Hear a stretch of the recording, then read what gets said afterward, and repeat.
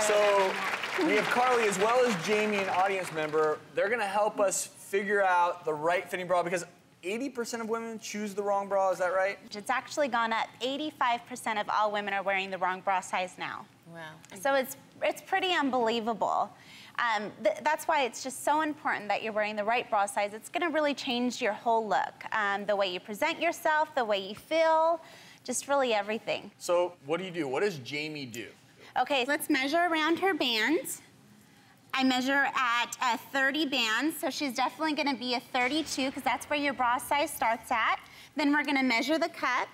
And you know, it's so important to take this time. Women don't because they feel so self-conscious Yeah. getting it done in the dressing room, Yeah. but it ch- can change your life. Absolutely, 34 is her cup size, so we're gonna start from her band, count up. 32 would be A, B would be your 34, and all the way up to 35 would be a C. So 32C is actually your correct bra size.